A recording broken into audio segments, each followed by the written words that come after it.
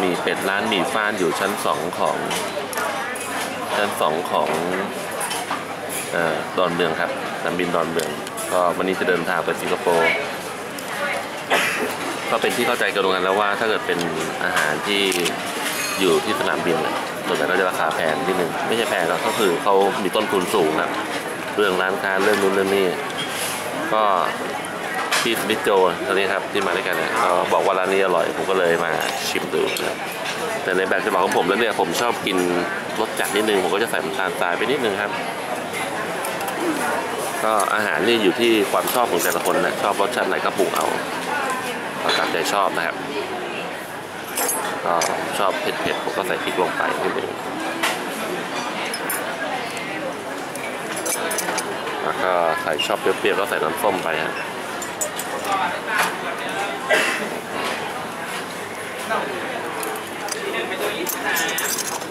น่ากินนะครับ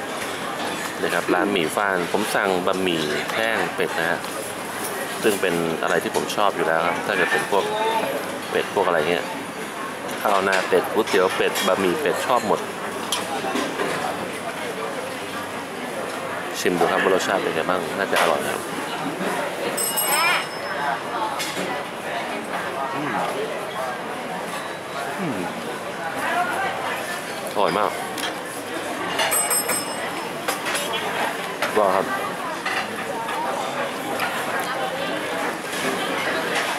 อร่อยจริง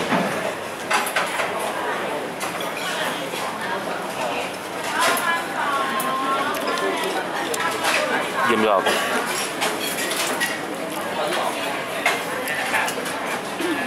คุ้มค่าครับ คุ้มค่าที่สั่ง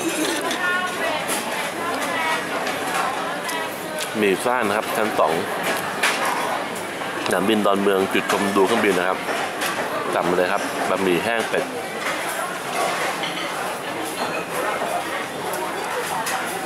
อืม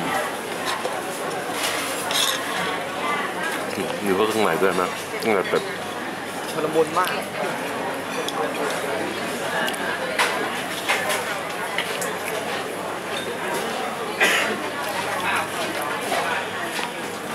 ยอดครับเยี่ยมยอดจริงอร่อยถูกใจ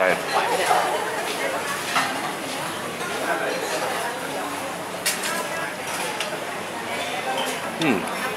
เยี่ยมกินแค่นี้แล้วกันนะขออนุญาตหม่ำสักใจก่อน